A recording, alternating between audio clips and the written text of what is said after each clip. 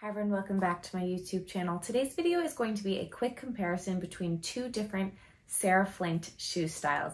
They're both perfect, but which one is perfect for you? The two styles in question are the Perfect Pump 85 and the taller version of the Perfect Round Toe. I believe it's the 70.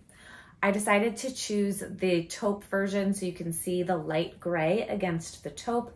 The taupe is a, a nude beigey gray kind of color from Sarah Flint. And I own the Perfect Pump 85 in, I think, five or six colors. I love this shoe. This is the only one I own in this color, but it does come in a beautiful like chestnut brown, a new Merlot that's really pretty, and black. And I'm sure that there will be more colors in the future as well. So here is how the heels look. Obviously the biggest difference between them is that the toe is round and it's a block heel versus a stiletto heel. So you can see the two different heels and if you look at the heel height, you can see that the Perfect Pump 85 is taller. Not only that the actual shoe itself is taller, but that the where the heel actually comes up is quite a bit higher. In terms of the toe, you can see the two different shapes that are going on here, but I do want to talk a little bit about some more specifics in terms of the toes. These shoes together, and I'm holding them from the same place in the shoe, you can see that the Perfect Pump 85 sticks out quite a bit further than the round toe. You can also get an idea of how these look side by side. So although they both have a V-cut vamp, the perfect round toes is rounder. it is a less severe cut and the perfect round toe is about a quarter of an inch wider than the opening of the perfect pump. So that is something to keep in mind. I went for a size 36 and a half in this shoe. They say to size up a half size. These are a 36. I agree with that assessment.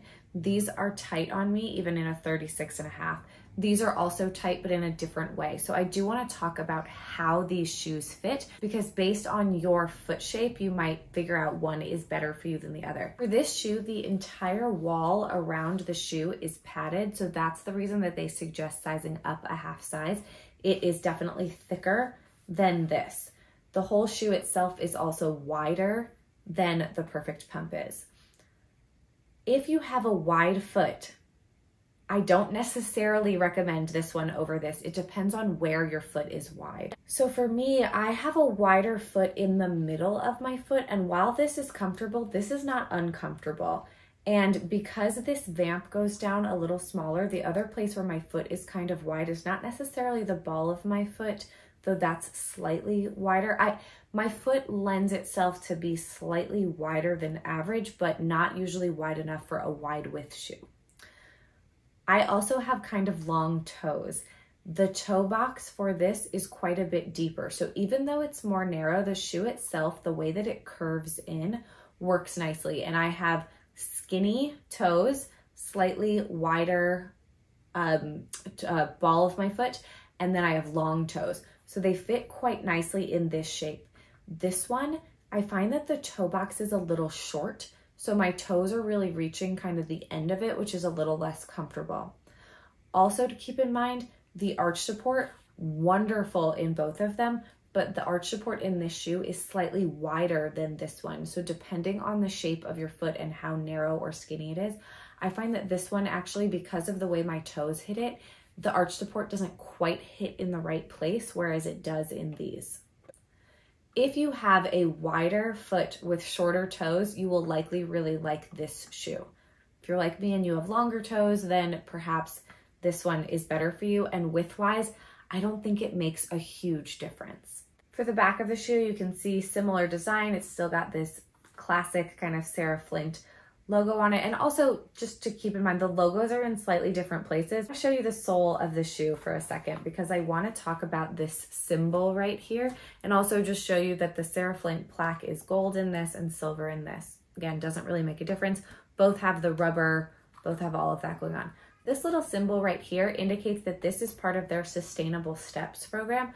So they have taken some steps to make sure that this is a slightly more sustainable version. Although everything is ethically made, with fair wages in their Italian factories. This one has slightly more sustainable materials and processes made in the shoe, which I think is very exciting. They are attempting to get all of their shoes in the same line, but they have, you know, they work in different factories, so there's there's a process to that. So perhaps they will all be sustainable steps in the future, but these ones are right now. So that is it for this quick comparison. I do have a $50 discount code for both of these shoes or anything on the site, which I will link down below. And please do let me know if you have any questions about either of these. I really appreciate you watching this video. I hope you have a wonderful day and I will see you in a future one. Bye.